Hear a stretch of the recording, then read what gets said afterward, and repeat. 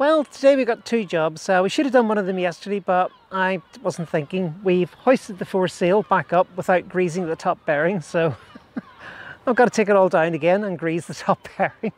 But the other job we've got to do is this boom. Um, it's got some wear at the gooseneck, so we've got to get a wear washer and insert it into the, the gap just to stop this, this from, um, or maybe two washers, just depending. So we've got to measure the size of washer we need, uh, we've got to take the boom off. That means we've got to take the split pin out and so on and so forth. It's not a massive job. It's not particularly complicated. It just has to be done. But um, the wind has picked up a little bit. It's coming from behind us. So I'm going to leave the foresail for now. And hopefully we'll get a lull this evening at sunset like we usually do. Um, dropping the foresail to do the grease will only take a couple of minutes. But this we can do because there's no sail on the boom today and we're going to have to wait for the a nice windless time to get it on.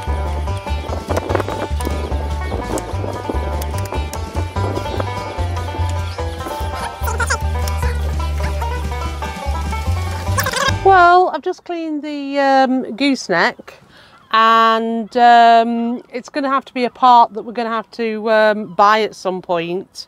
Because if you look at the one side um, where the pin goes through is quite circular. But if you look on the other side it's more like an oval shape. Because what's happening is the pin is not going through at 90 degrees to the block. It's actually starting to go like that and it's actually wearing the inside um, away. So uh, we will have to replace this at some point. Who, whoever put the um, gooseneck on at some point didn't use enough washers, and so there's wear on the bracket too. There's exactly there's wear on the brackets. We might have to buy that, but the thing is, we're going to just sort of like repair it with uh, a new washer for now.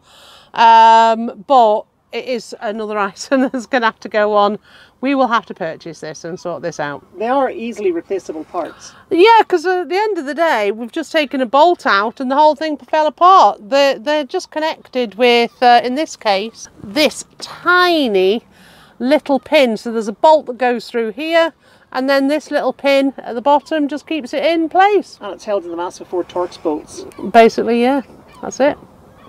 So what have you been doing, Beth? Um, well, what we've done is um, We've greased the um, we've greased the gooseneck and all its fittings and put it back in. We've shimmed it out with um, extra washers and we have the new part on order.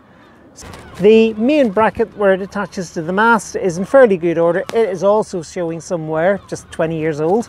Um, if we have to, this can also be replaced, but I don't think we need to at this point, so we're not going to. Um, the new bracket's on order, we're going to fit the boom back onto the gooseneck and with a bit of luck then we get the sails up and the job will be done. Hallelujah. Well, it's a bit of a different day on Salty Lass. Um, one of the joys of cruising is that there's lots of different days. But today we've been asked to uh, be background for some professional uh, filmers so uh, we've got the dinghy prepped. Um, Beverly uh, has pumped it out of water and she's also put the engine on. So uh, hopefully with our dinghy prepped we can be background. Well, um, at least now lots of dinghies are turning up. Um, but what we've had to do initially is say our name, telephone number, and the name of the programme. So giving permission uh, that we can be filmed. I think you need to move it on a bit. Uh, but anyway, lots of things are happening. So um, that's all for now.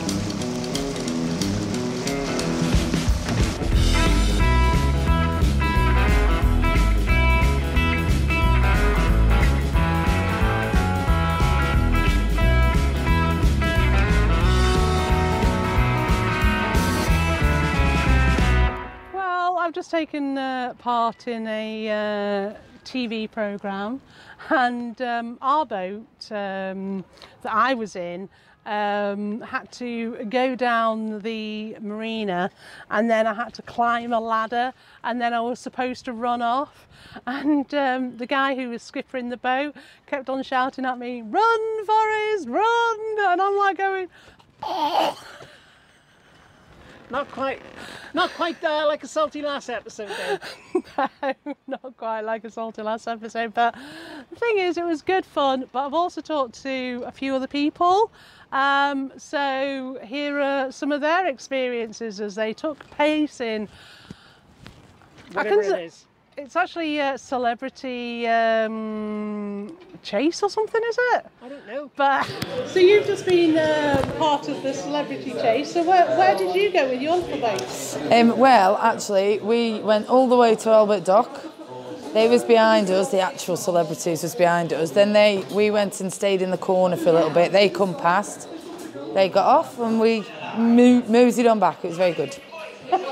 So you went all the way to the Albert Yacht. All the way. That's our decoy. We didn't get off. Uh, another boat by us. They got off as well as the celebrities getting off. Oh, so you've just been in uh, the little chase. So what did you do?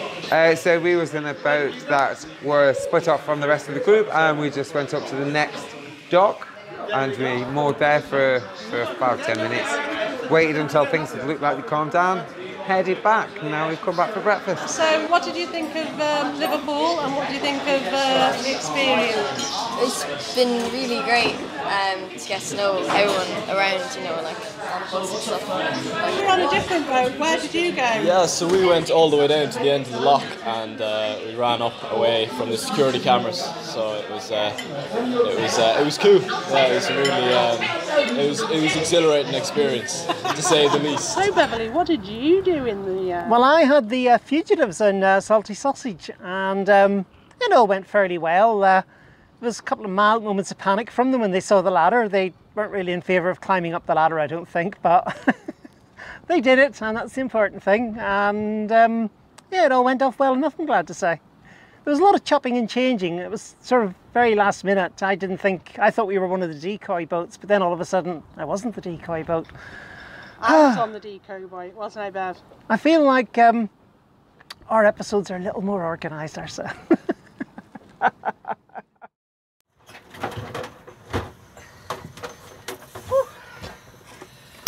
Happy days. the oil pump. Yeah, Never good news when that comes out. It isn't. And um, the other thing we've done is um, we've kept one of our empty um, jugs, Oil cans. oil can o- oil bottles. So I've got to get that out as well. Which is in this locker. I thought you'd hidden it in the engine space. Um, so I had. I forgot. I did. yes, I did, I didn't I? Ah, Put that back there then. No, you don't need to remove that to do an oil change. I know, I'm going to do it anyway because I can. You know, look, all my access to the engine so much easier. Have you solved the Chinese puzzle of what to do with the step? Well, essential equipment is our new Wonder Torch. Oh, it's going to make life so much brighter. Glasses because I need them. But one thing you've got to make sure you do is turn off your fuel supply before you do anything like this. Meanwhile, from our observation post in the engine bay, we can see the diesel getting changed.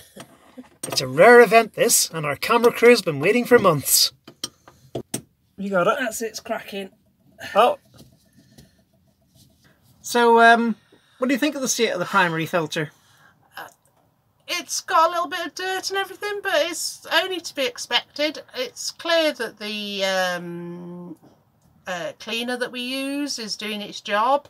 Uh, yes, it does mean that your fuel's that a little bit more expensive, but do you know what? If it makes your life easier in the fuels, I think it'll be great. It's not as mo- it might make it a little more expensive. It doesn't make it as expensive as having your fuel tank taken out, steam clean, changing all the tubes, and possibly losing your engine.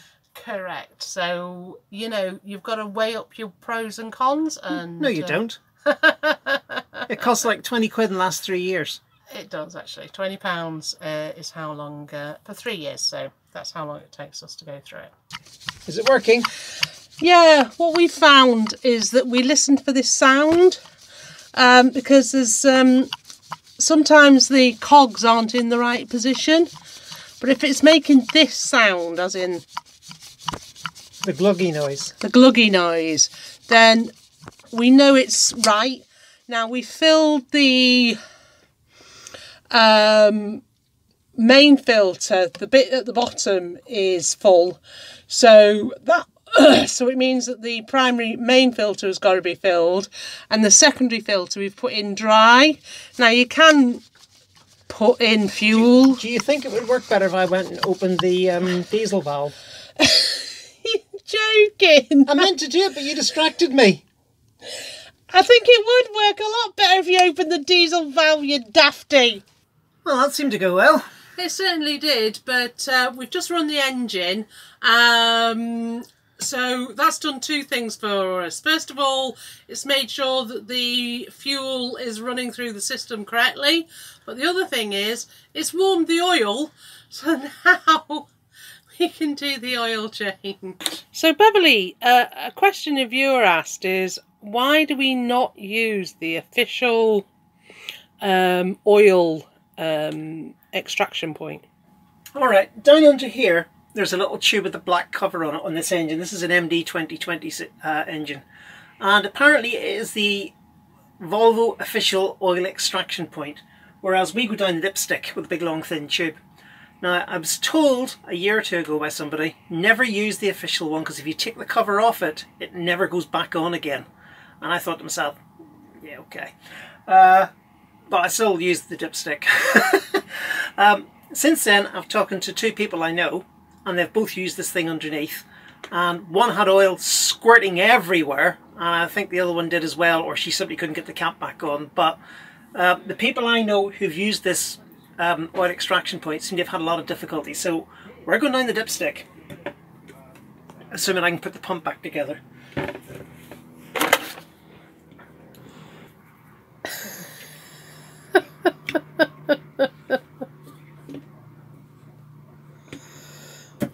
Come on, work those muscles, pump!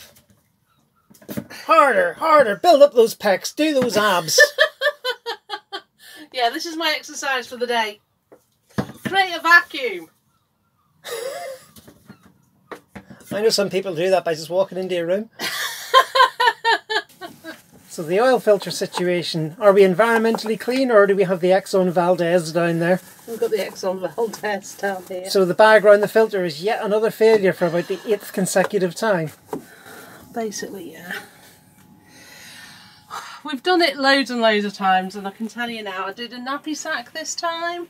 Very small bag, but it's just... just doesn't work. No, of course it doesn't work. Some design genius put the oil filter on the side of the engine. It's going to spill everywhere no matter what you do. Yeah. Well, I've cleaned the bilge and I've also just inch, uh, changed the impeller. Now, on um, a Volvo uh, 2020, um, it is very important that you get the right impeller. Um, one impeller is literally 0.1 millimeters difference in size, but basically, if you get the wrong one, it just does not fit. So, it's the central shaft that it slides on is the problem. Yeah, and um, they're just slightly different because one's an imperial, whereas the other's a metric. And so always make sure you've got the right one, which is why we always keep a used impeller. As long as it's in good condition. As long as it's in good condition. Obviously, if bits of plastic are jumping off it, don't keep it. But as long as it's in good condition, you can always keep it as your spare. But um, no, it's just very important to make sure you get the right one.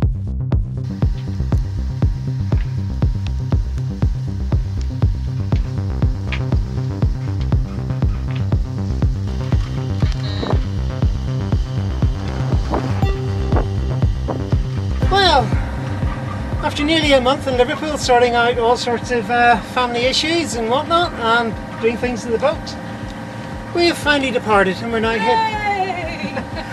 and we're now heading up the Mersey. Um, Gaynor executed a particularly beautiful spring manoeuvre this morning, and I will confess, I wouldn't let her filming it because of the third jibe syndrome that we had back in Southern Ireland a few weeks ago, where we did things perfectly, then we filmed it and it all went wrong. And we had so little clearance, I wasn't prepared to risk it, but it went absolutely spot perfect. I put all that uh, effort into when I did the training for how to spring under engine into good use because I sprung on the engine because it was too tight otherwise. And you did an absolutely fantastic job of it. Uh, I, I, it wasn't You did? too shoddy. It wasn't too shoddy, but Yeah, exactly. is, And then you did it again in the lock. But Bevy, Bev- like I say, Beverly was like, no, I don't want to go, I don't want to go. Let's not anger the sea gods.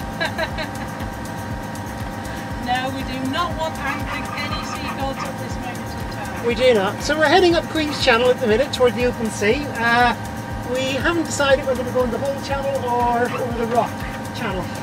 Um, I'm, the Isle of Man, it makes very little difference. I'm going to the Isle of Man, so I want to go that way. Well, look, look fairly direct. Yeah, well, we'll look around.